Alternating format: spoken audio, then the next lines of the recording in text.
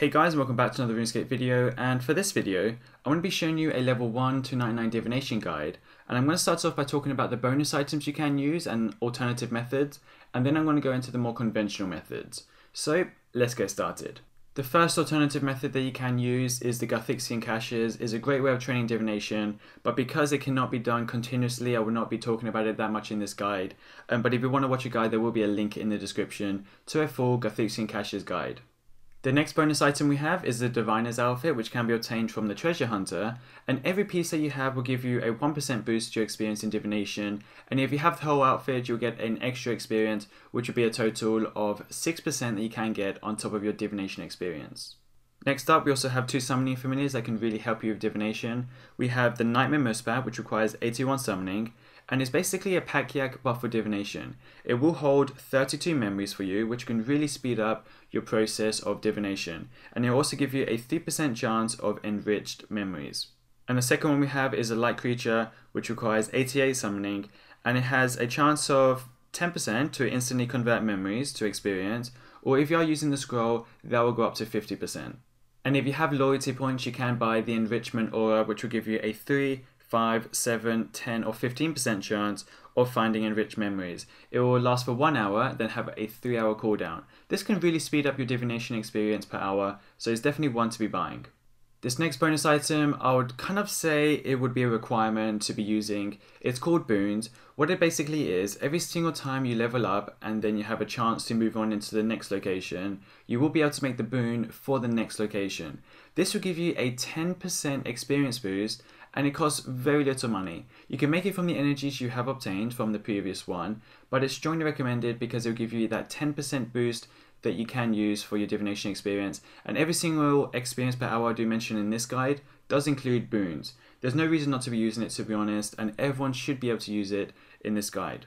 The next three items I'm going to be talking about is for the Chronicle Fragments. The first bonus item is the Sixth-Age Circuit Ring. If you have completed the World Wakes, the Ritual of the Mahjarrat, the Firemaker's Curse, Branches of Darkmeer, the Void Stares back, and the Chosen Commander, you can obtain this ring that will teleport you to the Guthix Shrine, where you can use up your Chronicle Fragments. Also, if you have completed the Light Within quest and have 87 prayer, you can use the prayer called Chronicle Absorption, which will basically use up your Chronicle Fragments and give you Hunter experience and Divination experience in return. So in case you have no idea what Chronicle Fragments are, they will appear randomly whilst doing Divination, they will appear from your spring, you can collect a maximum of 10 at a time. They will stack in your inventory, and once you have a fair amount, or you have obtained 10, you can use your 6 age circuit ring to teleport to the Guthixian shrine, and whilst there, you basically just hand them into the altar, and that will give you divination experience in return, which is a really good way of getting those extra levels up here and there. So now let's get into the more conventional methods. If you aren't starting off at level 1 by the way, you can always skip ahead using the links in the description that will skip to the part of the video that's more applicable for you. But from levels 1 to 10, we're going to be travelling south of the Draynor village Lodestone. Once you're there, we're going to be siphoning Pale Wisps until level 10. You will get about 4100 experience per hour, and we're going to be using option number 3 when we hand in our energies to the crater.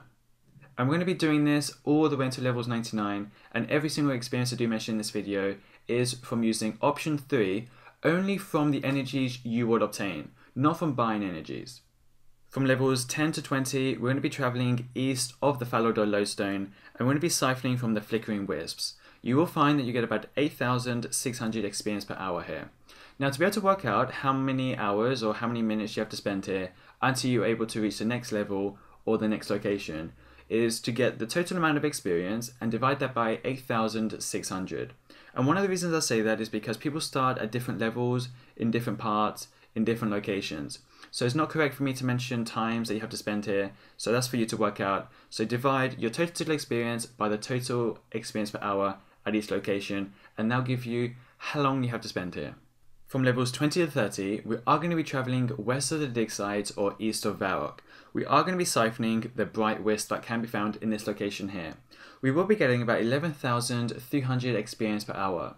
Now please also remember that my experience rates do not include any bonus experience from like double experience or the diviner's outfit. This is the core experience that you should be able to find by using your energies with option number three, that is the enhanced experience.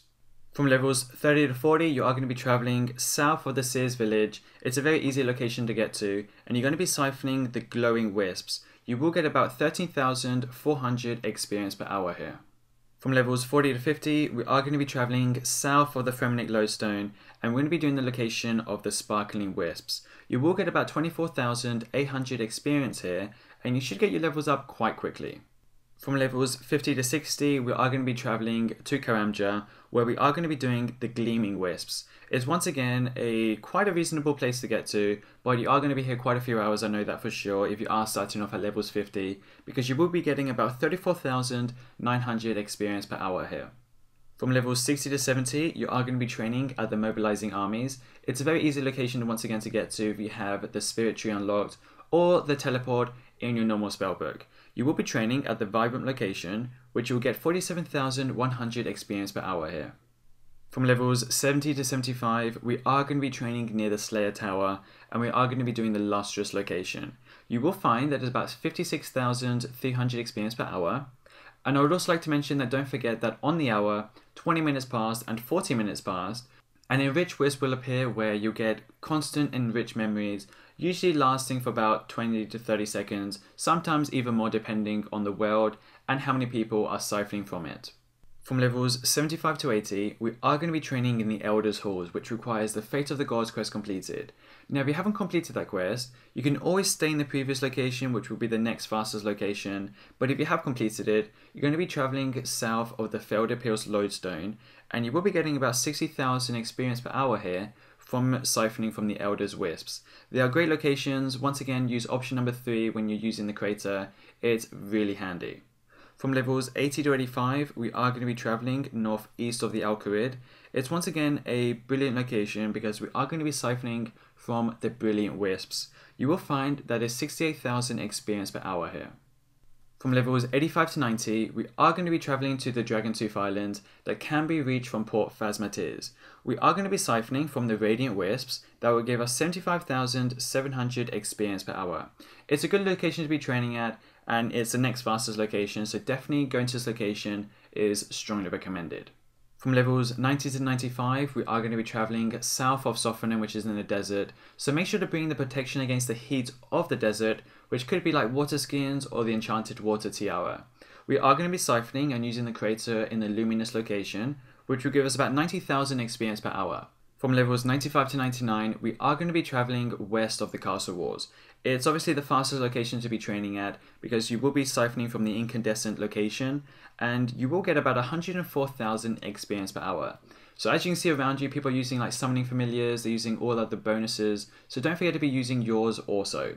So thanks for watching this guide, I hope you can get 99 Divination as fast as possible. It is obviously a long skill, so be patient with it. Thanks guys for watching, don't forget to give this video a thumbs up and subscribe, and I'll see you all very soon. Peace out.